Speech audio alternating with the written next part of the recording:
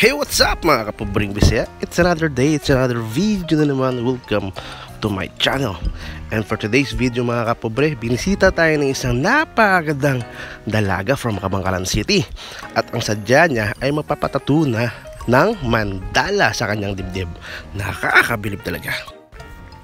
Si ma'am nga pala ay binigyan natin ng 30% discount kadahilanan ng sinulog. Siyempre mga kapobre. At uh, before sinulog kasi mga kapobre, eh birthday ko po noong January 18. Kaya nabigyan natin si ma'am ng discount. At yon, alam nyo ba mga kapobre, akala ko hindi makakatuloy si ma'am sa aming session na ito kasi uh, that day mga kapobre, before that day ay ang sinulog, highlights ng sinulog. Alam naman natin na siyempre party party dyan mga kapobre. Tapos kinabukasan, uh, bigla na lang siya nag-chat mga 9 to 10 p.m. na papunta na daw siya. Ay ako ka, tulog pa ako ng oras na yan. Kaya bigla ang napabihis at nag-prepare agad ako mga kapobre. Siyempre, sino ba naman ako para umayaw? Siyempre, gusto ko rin bumanat at tumira ng mga ganyang pyesa. Ayun. By the way, uh, special uh, thanks nga pala sa ating mga kaibigan dyan from uh, Kabangkalan City, mga tattoo artist friends natin dyan, mga katrupa, uh, Negros South Inc., Kabangkalan. Napakasulit na inyong suporta. Kasi nung sinulog mga kapobre, meron po kaming event sa Dali D, Kabangkalan. Nag-expo po kami.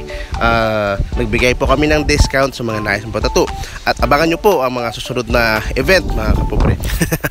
Kasama natin dyan ang mga sudid na tattoo artist from Kabangkalan.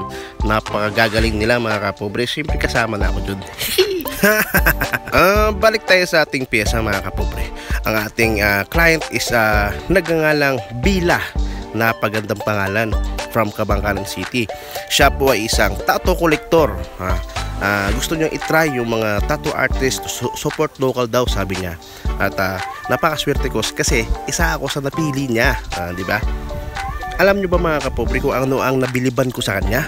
Eh, hindi man lang nakaramdam ng sakit mga kapobre. Kahit isa, alam nyo ba habang nagsisession kami, natutulog pa nga, humihilik pa. Ganyan ka-relax si ma'am. Alam nyo, sa ganyang parts kasi mga kapobre, isa yan sa mga napakasakit na parts na tatuan sa ating katawan. Pero si ma'am, walang wala lang sa kanya. Umabot nga pala kami ng 10 hours straight dyan mga kapobre. Ganyan kasulit si ma'am. Kaya kayo, kung gusto nyo magpatato sa akin, PM nyo na ako guys. Arat na. At wag na kayong magpatumpik-tumpik pa. At malay nyo bigyan ko kayo ng discount. Syempre naman Big shoutout nga pala sa ating kaibigan dyan na sumuporta sa event ng Expo sa Kabangkalan na si Carl Serfino. Isa rin po siyang napagaling na tattoo artist mga kapobre. Siyempre sa ating brother na si Jeric at si Jad. Siyempre hindi rin mawala si Sir Peter. Shoutout po sa inyong lahat. anyway, uh, alam niyo ba mga kapobre, hindi rin madali ang paggawa ng mandala uh, kailangan siyempre kahabaan ng hininga. At siyempre ugaliin natin na huwag mag freehand pag gumagawa tayo ng pyesa na mandala. Uh, mas maganda or mag print tayo para kuwang-kuha talaga yung design. At payo lang din sa ating mga kaibigan na baguhan tulad ko.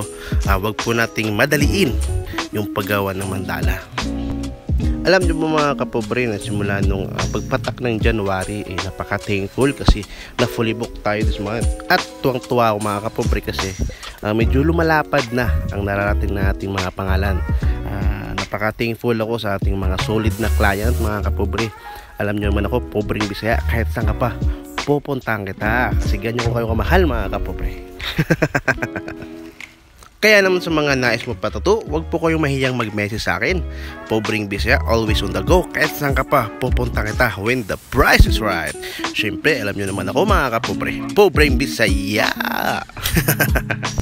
Kaya lang mga kapobre, keep in touch lang po kayo sa ating page mga kapobre.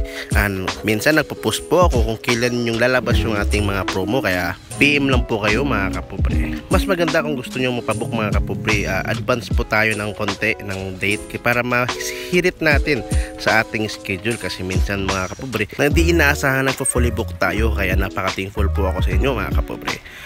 At yun mga kapobre, tapos na ating pyesa, mandala sa dibdib ng ating client. Ayun, maraming salamat po, Pobreng Bisaya. Ciao! ciao.